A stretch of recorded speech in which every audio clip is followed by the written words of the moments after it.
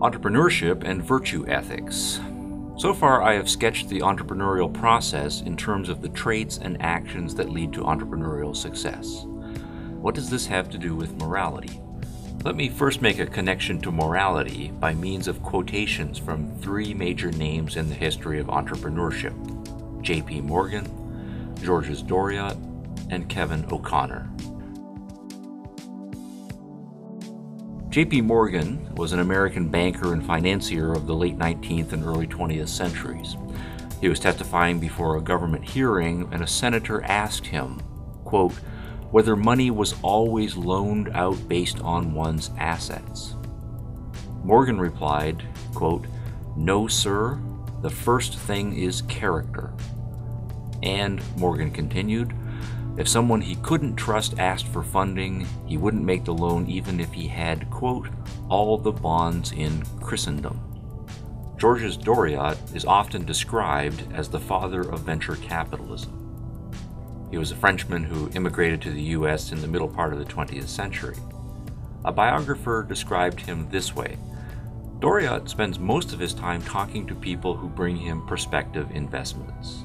He says he has considered no less than 5,000 of them since 1946. He is considered by friends and critics alike as a brilliant judge of character. But he has to be, he explains. Quote, when someone comes in with an idea that's never been tried, the only way you can judge is by the kind of man you're dealing with. Kevin O'Connor is a 21st century venture capitalist who was co founder and former CEO of DoubleClick. DoubleClick is the world's largest internet advertising technology company and was recently acquired by Google for several billion dollars. In an interview, O'Connor was asked what he looks for in people who are seeking venture capital from him. Quote, I look at three big things. Have they found a big problem in a big market? Have they solved the problem in what I believe to be the most effective way? And are they able to pull it off? Are they smart? Are they aggressive? Are they honest and hardworking? Unquote. Now note the common theme in the quotations from Morgan, Doriot, and O'Connor character.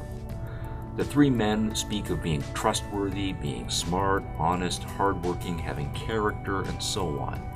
In their expert judgment, estimating future business success is first about judging character.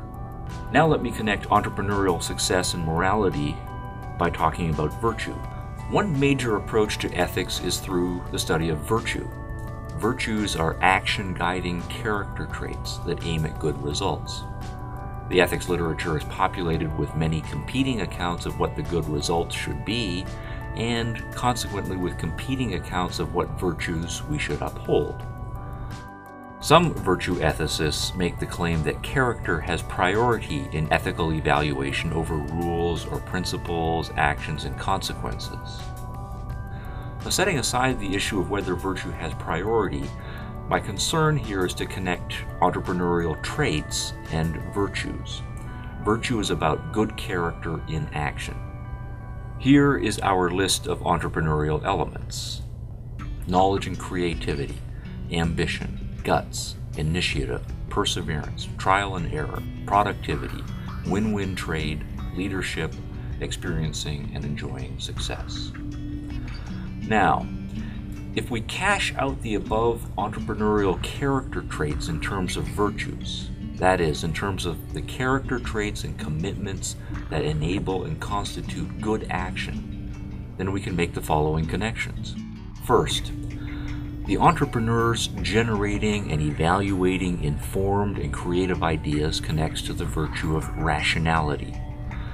Rationality is the commitment to the full exercise of one's reason. The entrepreneur's initial active and creative thinking are functions of reason, as is the exercise of evaluative judgment in determining which business ideas are actually good ones.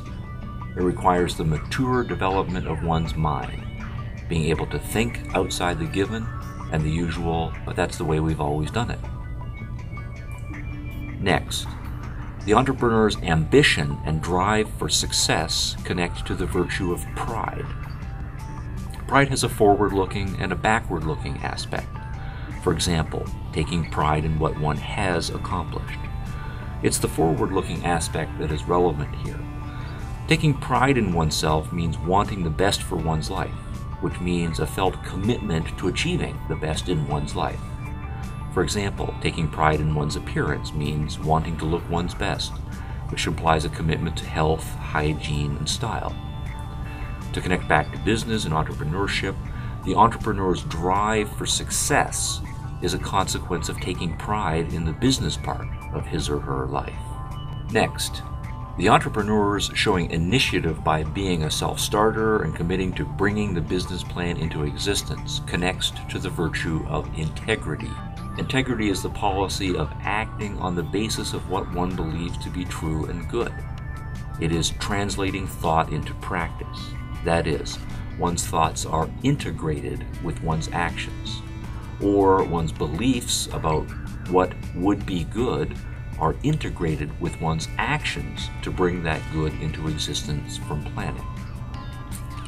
Next, the entrepreneur's commitment to action, despite the fear that comes from being aware of the risks, connects to the virtue of courage. Courage is the virtue of committing to an action that one judges to be right, while being aware, both intellectually and emotionally, of the possibilities of failure. Three aspects of failure are relevant here. One aspect is financial failure. Another aspect is negative reactions or being judged a failure by others. Another aspect is self reflective, seeing oneself as a failure. Courage means facing and surmounting these fears. Next, entrepreneurs persevering through difficulties, disapproval, and other temporary doubts connects with the virtue of independence. Independence is the virtue of trusting one's own judgment and acting on the basis of one's best judgment despite one's own short term frustrations and the contrary opinions of others. Next, the entrepreneur is working through the trial and error process of product development, connects to the virtue of objectivity. Objectivity is the policy of guiding one's thoughts by one's best awareness of the facts, of being open to new facts, or to put it negatively, not wearing intellectual blinders and avoiding uncomfortable feedback from reality. An important constituent element of objectivity here is the virtue of honesty, the policy of not pretending to oneself or to others that facts are not facts.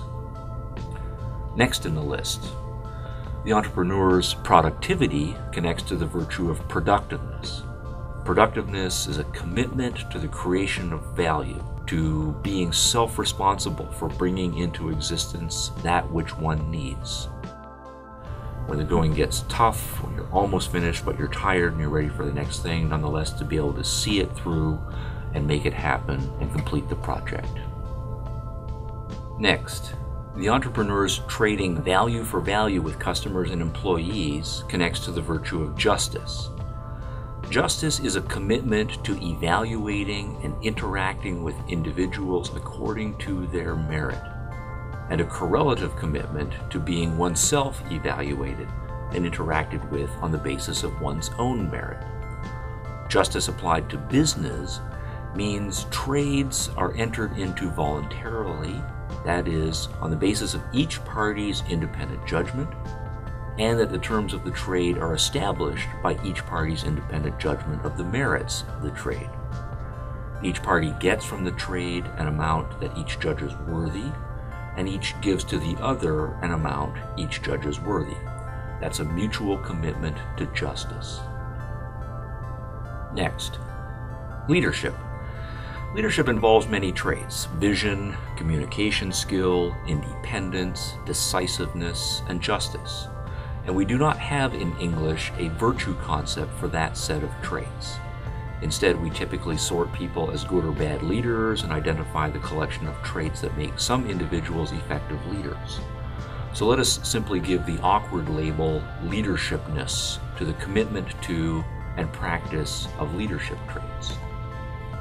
Finally, the entrepreneurs achieving success, including the financial and psychological rewards of creating a flourishing business, connect to the general moral values of flourishing, happiness, and fulfillment. Flourishing or happiness is the state of successful living. As one's business life is a component of one's overall life, the entrepreneur's engaging in the actions that lead to flourishing in business is a component of an overall flourishing life. The entrepreneur's actions both constitute and lead to a life that is fully realized. Now, summarizing all of the above in a table, we get the following. First, I'll say the entrepreneurial success trait, then I'll say the related moral virtue. Knowledge and creativity connected to rationality. Ambition connected to pride. Guts connected to courage. Initiative connected to integrity. Perseverance connected to independence trial and error experiment connected to objectivity, including honesty, productivity connected to productiveness, win win trade connected to justice, leadership connected to leadershipness, and, experiencing and enjoying success connected to self esteem and flourishing. If this analysis is correct, then it suggests a strong connection between entrepreneurial success and moral virtue.